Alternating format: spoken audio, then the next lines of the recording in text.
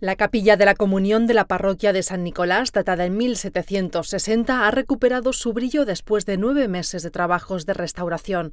La intervención ha sido realizada por el Instituto de Restauración del Patrimonio de la UPV junto al estudio de arquitectura de Carlos Campos, gracias a la financiación de la Fundación Hortensia Herrero. Los trabajos se han realizado utilizando las técnicas y productos más novedosos y con el máximo respeto a los originales.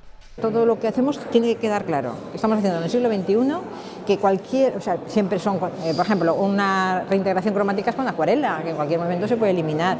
Un sistema gráfico que nadie puede decir esto, claro, de lejos no se ve, pero por supuesto, siempre métodos reversibles y, y luego dejar constancia de que nuestra actuación es moderna.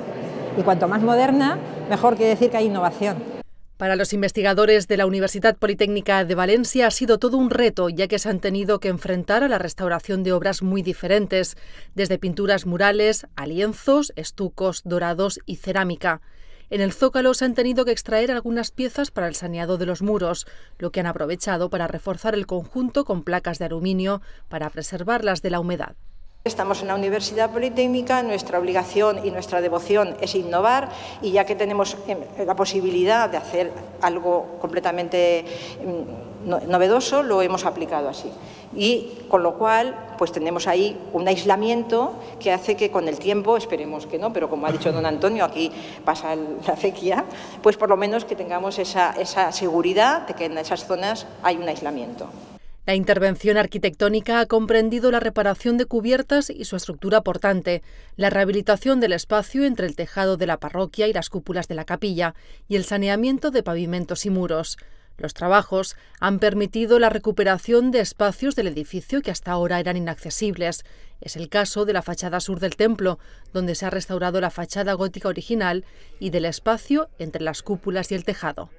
Dentro de ese espacio eh, se han recuperado también algunos elementos verdaderamente interesantes y que quedan un poco a la, espera de algún estudio historiográfico eh, interesante, que es una serie de grafitis, una serie de, dibujos con lápiz, con carbón, en los que aparecen eh, pues desde piezas arquitectónicas, cornisas, hasta, por ejemplo, la firma del arquitecto autor de la remodelación neogótica que se hace en la iglesia a mitad del 19, es Timoteo Calvo. La iglesia de San Nicolás es uno de los diez monumentos más visitados de Valencia. El templo, además de ser un lugar de culto, se ha consolidado como foco de atracción turística. Durante el año 2017 han pasado más de 300.000 personas por este lugar, lo que convierte a San Nicolás en un eh, punto de referencia obligado en la visita a nuestra ciudad de Valencia. Gracias a todo este trabajo se ha conseguido que la iglesia fuera un foco, se ha conseguido que sea un foco de atracción turística. Os tengo que confesar también que sabíamos que había aquí un gran potencial, pero desde luego no esas 300.000 visitas que decía San Nicolás. La fundación que preside Hortensia Herrero ha destinado alrededor de 5 millones de euros en la histórica parroquia.